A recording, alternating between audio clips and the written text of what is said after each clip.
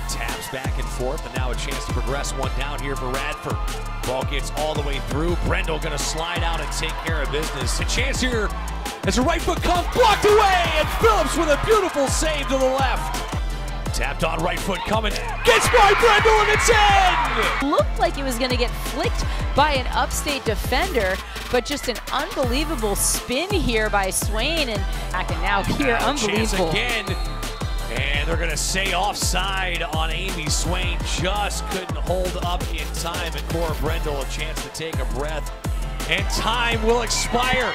And Radford is back in the Big South Championship game for the first time since 2019.